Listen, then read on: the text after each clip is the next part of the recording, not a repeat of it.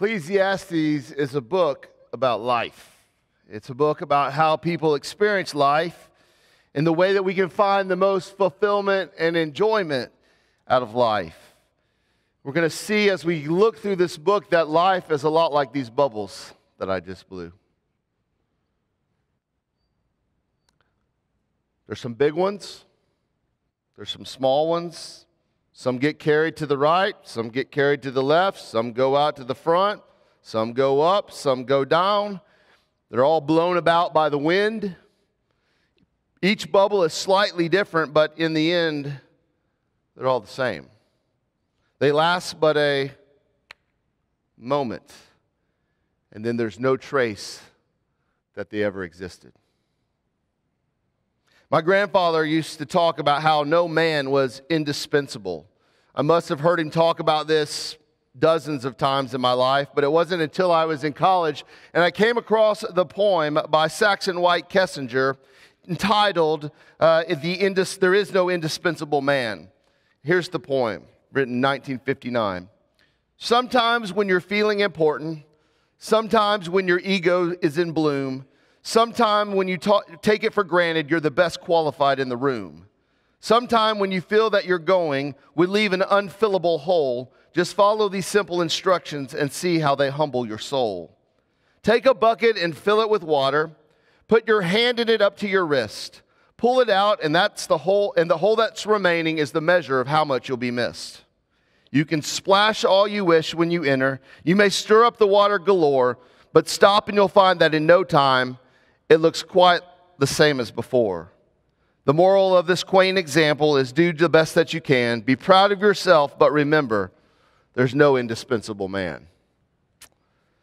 As we look at the book of Ecclesiastes over the next few weeks, we're going to see this play out. We're going to see that Solomon, the wisest man in the world, the one who is the leader over Jerusalem, the king of Israel, is going to put together thoughts from his life, from his experiences, from his wisdom. And what he's going to do as we look at this is he's going to encourage us, and yet at the same time, there's going to be some discouraging things.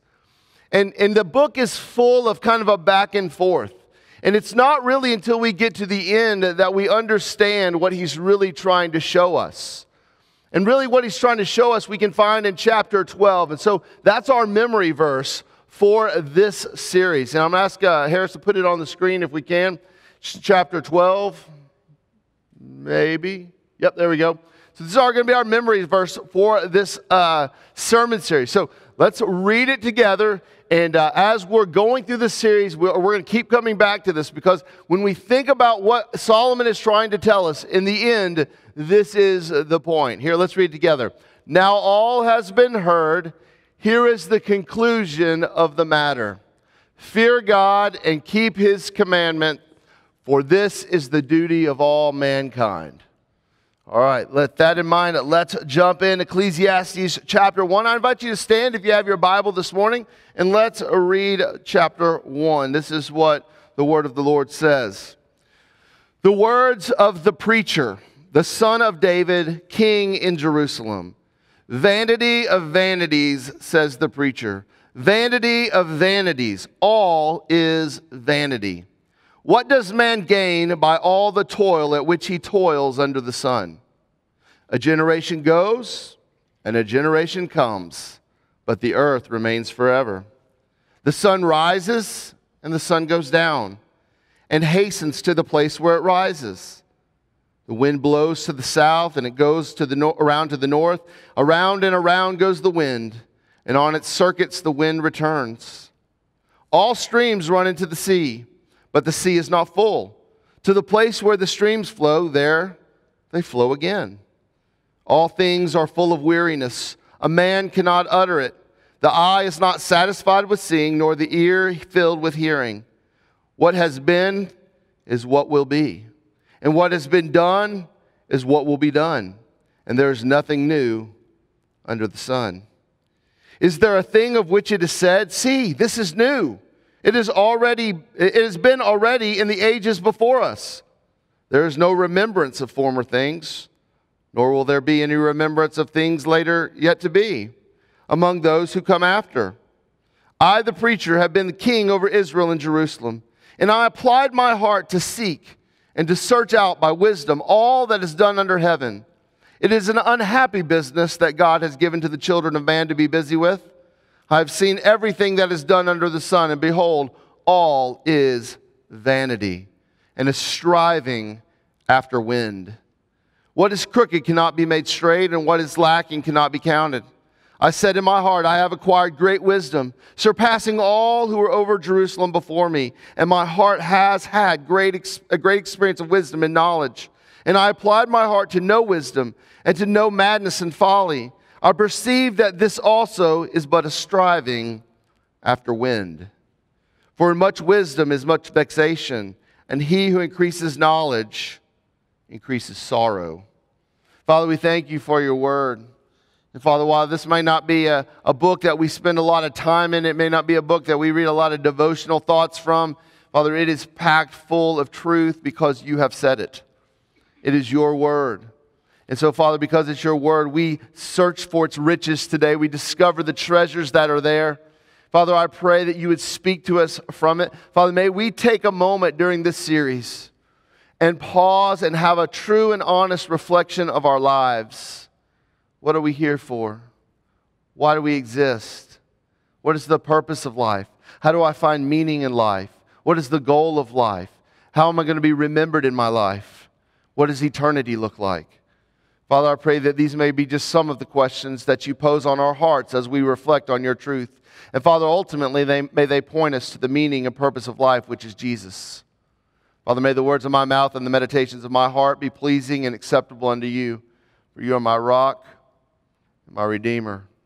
I pray this in the matchless and glorious name of Jesus. Amen.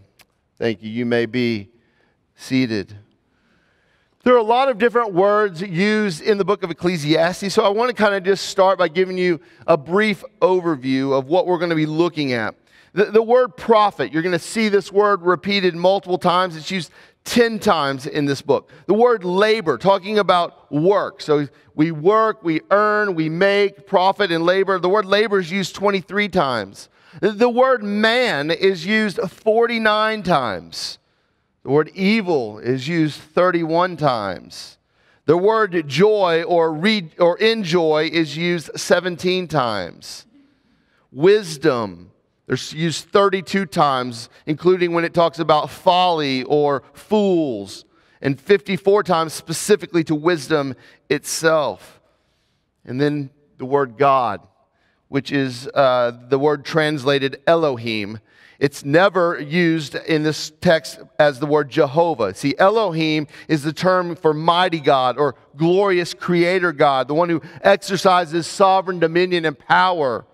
Jehovah is the God of covenant or relationship. So Solomon is talking exclusively about what he sees under the sun. And so he only uses Elohim, never Jehovah. It's not the relationship God, it's the glorious creator, mighty God that he is. Uh, that he uses in this passage or in, these, in this book. So, kind of with that in mind, let's dig in and start to uncover some of these great truths. Look at verse uh, chapter 1 with me, verse 1. It begins by saying, the preacher. Now, that word preacher is the word koheleth, and it is the title given to an official speaker who calls together an assembly. So we see this kind of this preacher, the preacher, the preacher, the preacher. It is uh, this concept of somebody who gathers an audience. That's oftentimes people call me preacher. Why? Because we've gathered a congregation to listen to something that I'm going to say. This is where we also get the Greek word ecclesia, which means the assembly or the gathered or the called out ones. And this book title, Ecclesiastes, comes from this concept that the preacher, the wise one, here in this case, Solomon, is gathering together people to listen to his wisdom. So we see, begin by the words of the preacher. And then we see Solomon identify himself. He never actually uses his name. He never says, This is Solomon. So it's not like the letters of Paul where he says, I, the Apostle Paul, write to you. he uses these other phrases that give us a extremely strong indication that he is the author of this text. First of all, we know in Kings that Solomon is the wisest man to live, the wisest human to live outside of Jesus. And we also know that he was obviously the son of David and the king over Israel. And so we see in verse 1 that he is the preacher, the son of David, king in Jerusalem. Now, Solomon, being such a wise man, wrote this most likely towards the end of his life as he's looking back, as he's reflecting on all of his experiences, all the things that he's been through, the good times, the bad times, the, the times when he walked closely with the Lord at the beginning of his kingship, at the beginning of his life, and then unfortunately looking back on the times where he drifted away from Yahweh and he began to pursue wives that were outside of Israel and when he did that, he began to adopt foreign and false gods and become an idol worshiper along with them and began to stray far away from the things of God. And he's now at the end of his life and he's writing wisdom about how and what life ought to be about. He's experienced the good things of God and he's also experienced what it's like to live far from God. He had all of the material possessions anybody could have ever dreamed about. He didn't want for anything. He had all of the women and wives and relationships he could have possibly wanted, and yet what he's going to see as we walk this book is none of those provided what he hoped that they might provide. So, well, what does this book have to do with me today? My friends, we also live in a world today that says if you just, then you'll be happy. If you can just get that, if you can just have that relationship, I remember thinking in my life like that. We, we all do this, right? If I can just accomplish this one thing, I remember before I finished my doctorate, I thought if I can just get this degree and I can just get this title, I will, I will have arrived, I will have accomplished something significant. And then you get it, and then guess what? You don't think about it hardly ever again. Or you think right before, when you're in, in, college or in high school or whatever, and you're, you're thinking about your future, like if I could just find that special someone to get married to, if I could just have a family, then I'll find fulfillment and purpose and meaning in my life. And, and those are good things. I mean, uh, uh, family is a good thing, but my friend, if, if that's what we're seeking our contentment in, we're going to find out quickly that that's not going to be the source of our contentments. If we think if I could just pay off my house, if I could just get that big job, if I could just pay my bills, if I could, it's always if I could just do this, then I will be. And this text is going to remind us over and over again that all of the things of the world never provide long term satisfaction and fulfillment. And that's why we get to the end there in chapter 12. And what does Solomon say? I've, I've surveyed it all. I've had it all, I've seen it all, I've known it all, I've experienced it all, and it comes down to this in the end it's about a relationship with God. Because He's the only one that's going to provide fulfillment and meaning in my life. And so I don't know where you are today. I don't know what you're pursuing. I don't know what the things of your life look like. But, uh, but I want you to hone in on this as we work through this book. What is the purpose and meaning of my life. Because just like those bubbles I blew, it goes by just like that. Let's keep going. I've got four realities in this text I want us to wrestle with this morning. And I mean wrestle with because they're not easy. They might be, I've tried to word them in a way that they're a little bit uh, catchy, but they're not easy things to really ponder. The first one is this life is short and then you die. I don't want to oversimplify that, but life is short, and every one of us is going to die, barring the return of Christ. We're going to die. Look at verse 2. Vanity of vanities, said the preacher. Vanity of vanities, all is vanity. So in the second verse, we've already heard the word vanity five times. Now, what does this word even mean? It's used eventually 38 times in the book. It's the Hebrew word hevel, which means emptiness, futility, vapor, that which vanishes quickly and leaves nothing behind, just like those bubbles. They were blown, they floated for a minute, and then they disappeared, and there's no trace that they were ever here.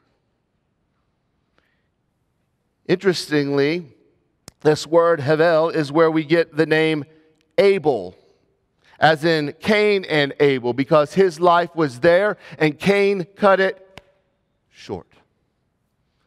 It's nothing but a vapor.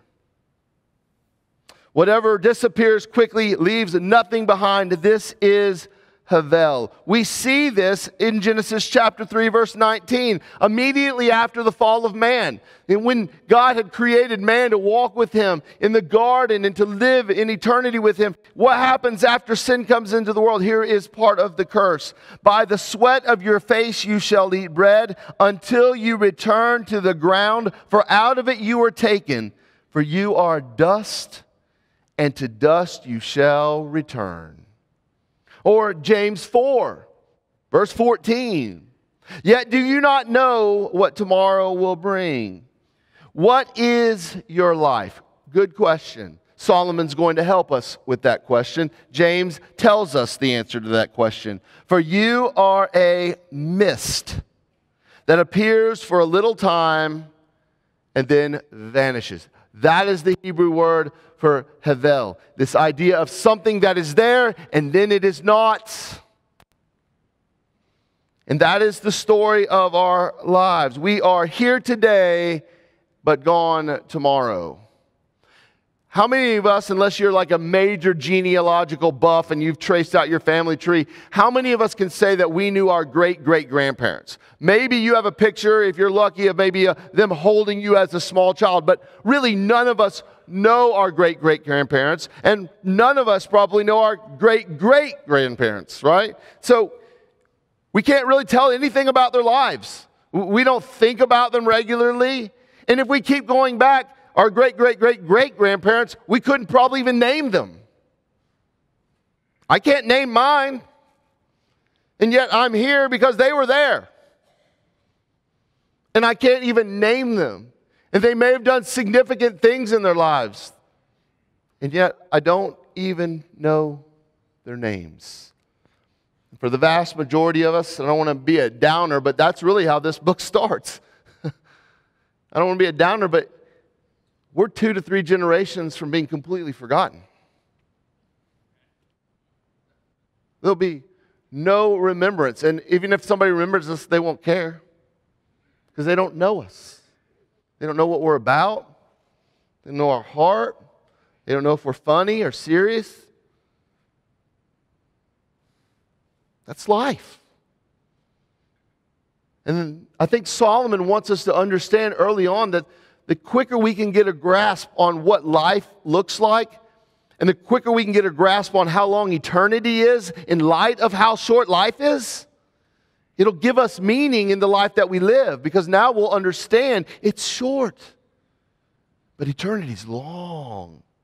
And what we do in the shortness of life impacts the eternity long. Life is short and then you die. The second reality I think we ought to see in this text this morning is that the world moves along with or without you.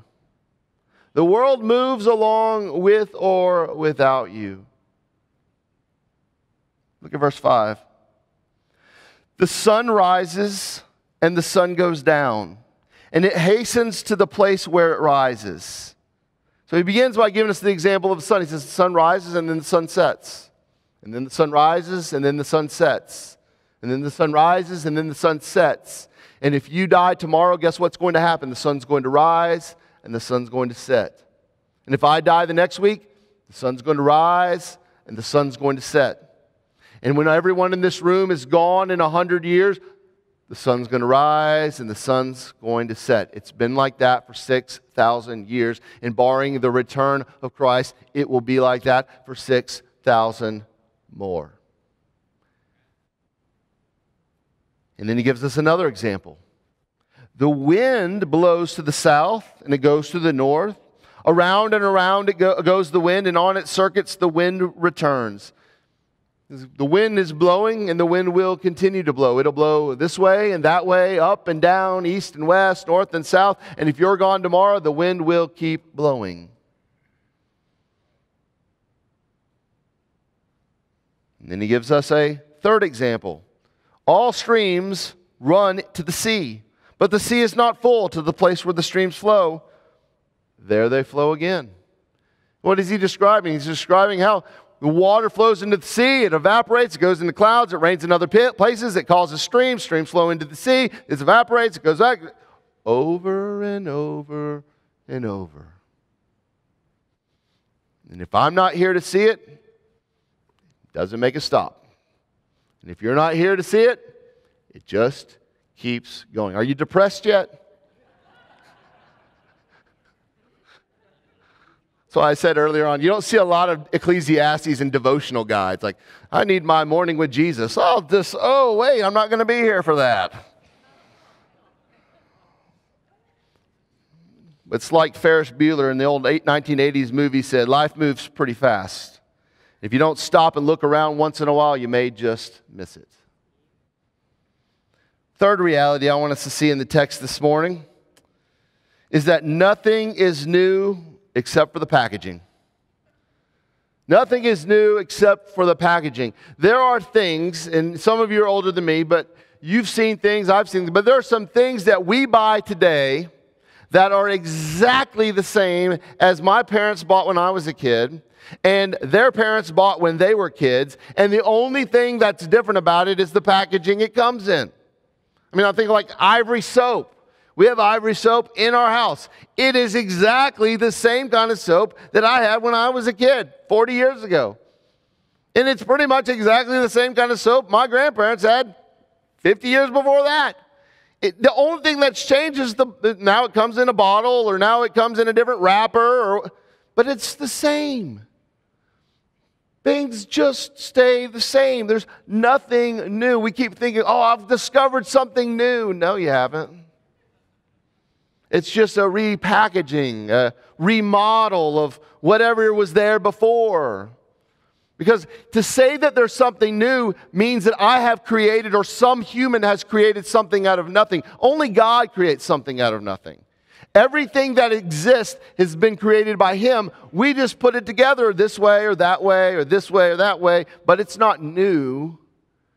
There's not any new concept under the sun. You see, the more we read, the more we understand, the more we look into the history, the more we see how things tend to repeat themselves. Sure, they take a little different form. Sure, they have a slight variation on them, but there's nothing new under the sun. Look at verse 8. All things are full of weariness. A man cannot utter it. The eye is not satisfied with seeing, nor the ear filled with hearing. I love verse 9. What has been is what will be. And what has been done is what will be done. And there is nothing new under the sun. Is there a thing which it is said, See, this is new? It has already been, it has been already in the ages before. Solomon's like, I've seen it. I've traveled. I, I go to places. And, I, and they'll say, Look at this new thing that I've seen. And then I'll go somewhere else and I go, That's already been discovered. It's already been developed. It's not new, it's just repackaging of the old. It's interesting that Paul, when he gets to Athens and he goes up on Mars Hill, it talks about the, the, uh, the philosophers there. They sat there to talk about all of the things that are new. A new idea that had come to town a, a, new traveler going through, sharing ideas on the top of Mars Hill with the philosophers. I've thought of something new. And Paul, in his way, just kind of embraces that concept as the same foolishness that Solomon does and is reminded that no, God is the creator and he is the only one who brings about those things. Verse 10 Is there a thing of which is said, See, this is new, it has already been, uh, it has already been there ages before us? There is no remembrance of former things, nor will there be any remembrance of latter things yet to be among those who come after. Life is short. There's nothing new. And then, lastly, where we're going to spend the bulk of our time this morning is the fourth reality of the text. Meaning and purpose isn't found in human wisdom, it must come from our Creator. This is the argument he's building towards in this chapter and really throughout this book is that as long as we are looking for purpose and meaning in the things under the sun, as long as we're looking for purpose and meaning in the things created by man, as long as we're looking for purpose and meaning in these things that we think, oh, I've got a new thing, there's a new thought, there's a new job, there's a new package, there's a new whatever. As long as we're pursuing those things, we will not find the meaning and purpose of life.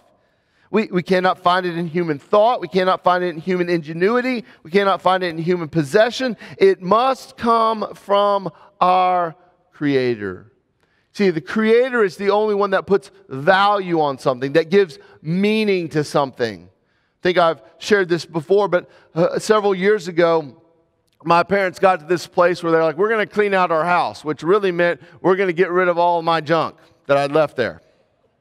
So, you know, I had a bedroom at our house, obviously, and I, then I went off to college and I came back and stayed there some. And then I got married and I got my own place. And yet, in my closet in my bedroom remain, you know, my Boy Scout uniform and some knickknacks and some high school memorabilia and some trophies and, you know, some scrapbook, whatever it was, you know, in there, baseball cards, things that I had kept throughout my childhood. And they decided it was time to clean out the closet, so they just came with a couple boxes and pretty much just dropped it off on my, at my house.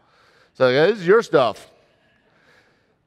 See, it had, you know, for them, they could have just as well thrown it out. You know, it, it didn't have a lot of meaning to them. They'd kept the stuff that they wanted from my childhood or whatever, but it's time to drop off my stuff. See, I had meaning and value in that because I was the owner of it. And so I would look at things that they would see as junk, and I would say, oh, that's important. We can't throw that away. I remember when I remember when I got that. I remember when I did that. And I could place meaning and value on that because I was the owner of it.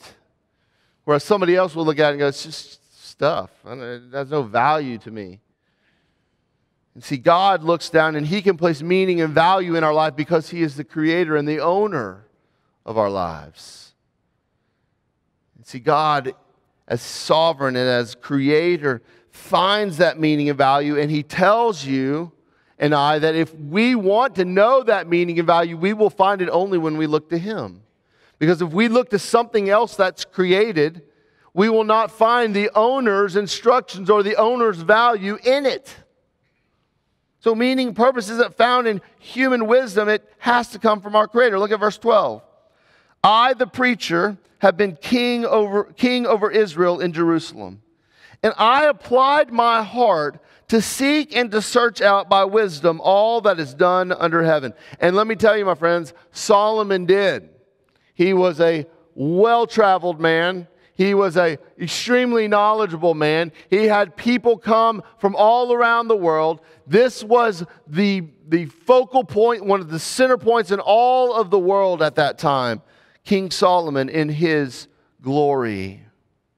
He says, I sought to find out all that there was to know about wisdom. Of everything all over the globe that was happening, I was going to find out about it. And then he says these interesting words It is an unhappy business that God has given to the children of man to be busy with. Because if you know anything about knowing, you know that the more you know, the more you realize you don't know. Once we think that we have arrived at the place of knowledge, we only discover that we have only scratched the surface. And so, chasing knowledge, Solomon says, chasing wisdom, chasing insight is a fool's game. Because the more you chase it as your purpose, he's not saying it's not important. He's not saying we shouldn't get smarter. He's not saying don't go to school. He's just saying if that's the end goal for you, so I'm going to be the smartest person. I want to have all these degrees. I want to know everything there is to know, then you're really going to be discouraged in your life because you're going to realize, I don't know anything. He goes on and he says, It is an unhappy business that God has given to the children of man to be busy with. I have seen everything that is done under the sun, and behold, all is vanity. There's that word again, hevel. There is emptiness. All of it is empty. All of it is chasing after the wind. You can't catch the wind.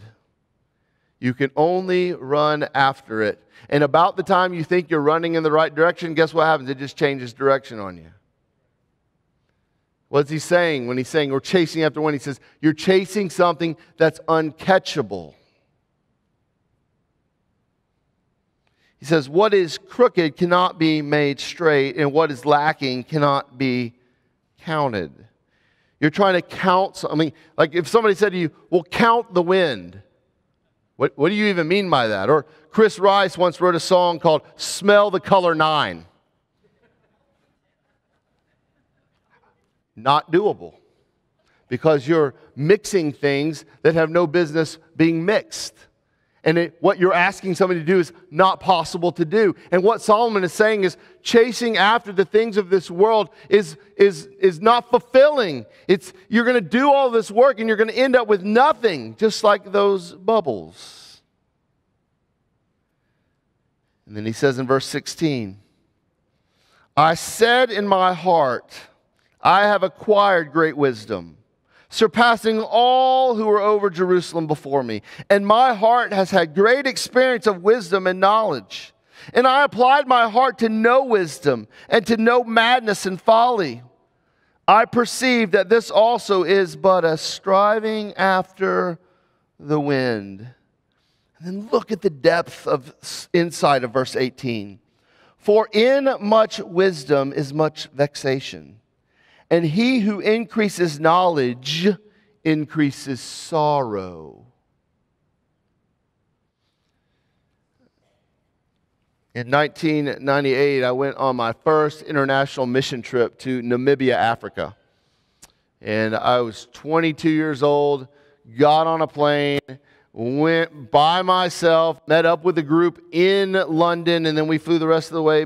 My parents were freaking out because I'm 23, like, two months out of college or something like that. And uh, here I'm going halfway across the world on my first international mission trip. I was so fired up. I knew nothing, but I was so fired up. I still know nothing, but mission still fires me up. So get over to Namibia, Africa, and I mean, all I had known, honestly, I just grew up in a middle class subdivision kid in Nashville. Went to a decently good high school, went to a Baptist college. I mean, let's just say my life had some shelter around it. And we show up in Namibia, Africa, and at first everything is fine, good. And then the missionaries took us out to the bush. And for a kid who's grown up and seen poverty in the United States, but never thought about living in a mud hut where every day you walk half a mile to bring your water to your hut, to your village, that everything in there is a process. Like there's not a refrigerator, so you don't just go get a drink. There's not food in a storage bin, so you just open up and get some bread out. They make everything, they grow everything. If they eat it, it's because they've grown it or killed it. And you know what I took away from that? It wasn't, oh, I feel sorry for these people. They're in such poverty. You know what I took away from that? These are the happiest people I've ever met. They legitimately enjoyed their life. They sat, they talked, they sang, they danced, they cooked, they played with their kids, their kids played with other kids, they never thought about what I don't have. I mean, maybe they thought about it, but I'm convinced they didn't want it because they legitimately were content. And then I come back and I'm only in college or just out of college, so I don't have nothing, right? I just have a degree, a piece of paper, and an opportunity. And you get here and you're like, I've got to make it. I got to get a house. I got to get an apartment. I got to get some furniture. I got to get this. I got to get a wife. I got to get I got to get school. I got to And I I just so much relate to verse 18 for in much wisdom is much vexation. See, those wonderful people in the bush of Namibia, they weren't feeling vexed at all. They didn't, I mean, I had a college degree. Most of them still were speaking orally, they didn't even read things. So, in, in our world, in our culture, it'd be so easy to say, well, see how more advanced we are. Like, we've got, look, we got microphones and piano. And it's the world that just sucks us into that thinking that somehow we're, our culture's better than that, or look how far more developed and how smarter, much smarter we are and wiser we are, and all of these things. And I see Solomon saying, For in much wisdom is much, much, much vexation, and he who increases knowledge increases sorrow. Sometimes the more you know, the more you have, the more you've experienced, the less content you are. Some of the most content people I've ever met are the most generous people because they've learned that what gives them contentment in their possessions is not keeping them, but giving them. Same thing with knowledge. Some of the wisest people I've ever met are not the people who hoard the information to themselves, but teach others with it. It's about giving it away, not hoarding it together. Paul's, or the writer of Ecclesiastes here, Solomon, is saying there's much wisdom in understanding, but it creates much sorrow. So, as we think about this text, as we think about what direction Solomon is writing here and where it ends, it can be so easy to pause and go, Well, this is the most pessimistic thing I've ever read. I mean, what is Solomon getting at? He's telling us, you know, life is short. It's nothing but a vapor. He's telling us, hey, pursue all the wisdom you want. You won't make you happy. He's saying there's nothing new under the sun. Quit striving your whole life to find out something new only to find out it's not new. This is discouraging. And that's why we ought to read this book in light of what we understand about Jesus in the New Testament. See, this is the the, the wonderful thing about living on that, this side of the cross is that we can read what Solomon is striving for, what Solomon is writing about, about the experience that he's had in light of the crucifixion and resurrection. And see, when Jesus says this in John chapter 10, we ought to say yes and amen. He says, I have come that they may have life and that they may have it abundantly that they may have a fulfilled life, a satisfied life, a life that is meaningful. I have come that you can have life, eternal life, not a vapor life, not a life that's like a bubble that is here for a second, pops and is gone, but Jesus has come that you and I might have abundant and eternal life. And the life that He's given us here on this earth might have purpose and meaning. And the purpose and meaning, as we read about even in Ecclesiastes, will never be found in stuff. It'll never be found in wisdom. It'll never be found in schooling. It'll only be found in God.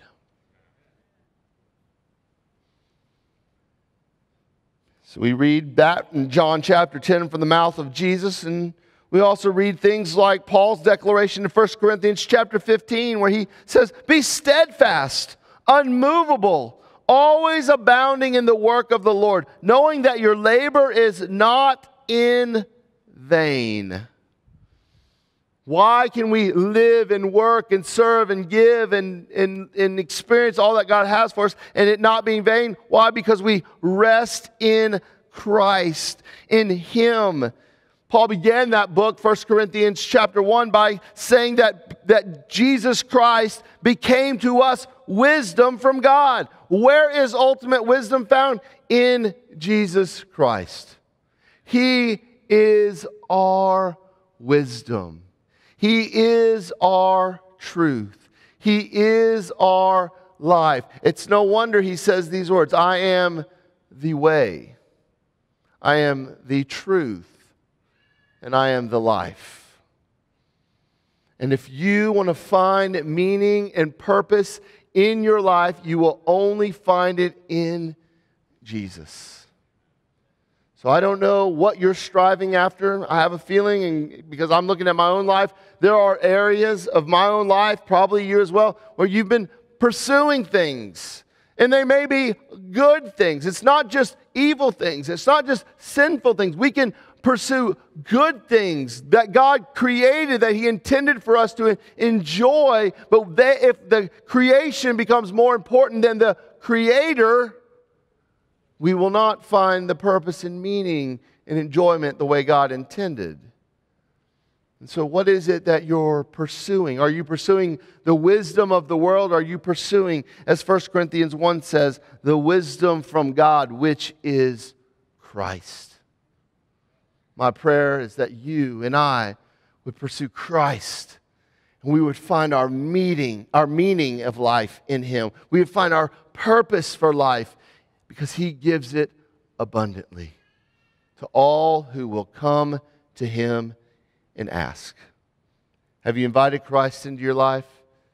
Have you put Jesus as the Lord and Master and teacher of your life? If not, He invites you today to call upon His name. For the scripture says there's no other name in heaven or on earth by which man can be saved other than the name of Jesus. Have you named Him? Have you called upon Him? Have you put your faith in Him? If not, now is the time.